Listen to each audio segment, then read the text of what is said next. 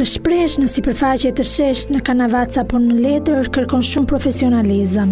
Megjithatë kjo është një cilësi shumë e rëndësishme për artistin Ardian Devolli, i cili çel ekspozitën me 20 tablo Përgjithmonë kanavacë në galerinë Kalo.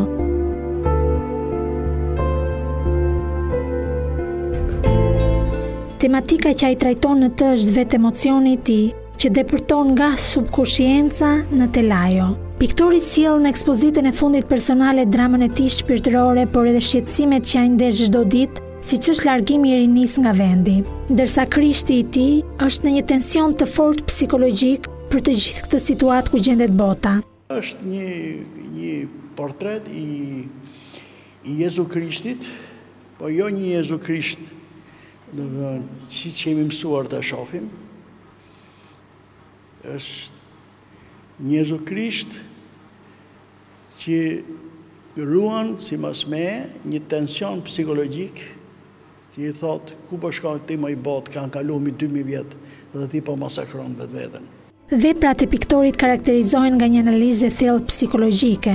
Në një tablo gati bardhezi ai sjell të vetmen vepër politike në këtë ekspozitë për eksodin e shqiptarëve që nga viti një mijë e nëntëqind e nëntëdhjetë e një deri në ditët tona.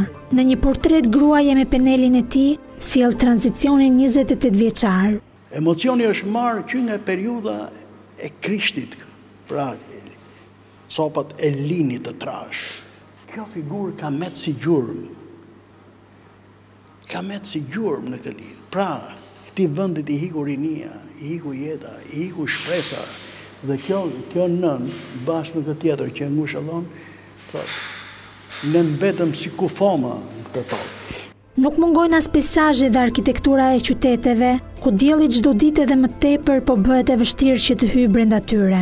Është një marrëdhënie midis arkitekturës, të lojës se si varion drita në një sipërfaqe, si varion, si ndërthuret bardhezia, Qoftë në ngjyrë qoftë në bardhezinë maksimale.